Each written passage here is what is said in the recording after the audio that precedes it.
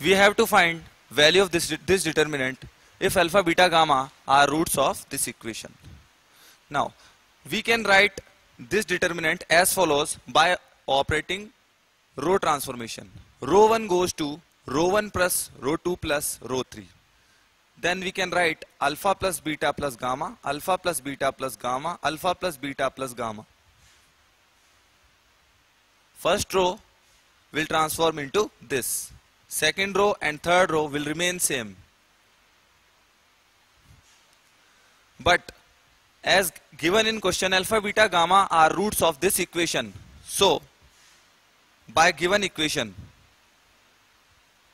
if we take help of theory of equation, we can write alpha plus beta plus gamma equals 0. As coefficient of x square is 0 in the given equation. So we can write alpha plus beta plus gamma as 0. What will happen to this determinant now? The first row of this determinant will become 0, 0, 0 and second and third row will remain same.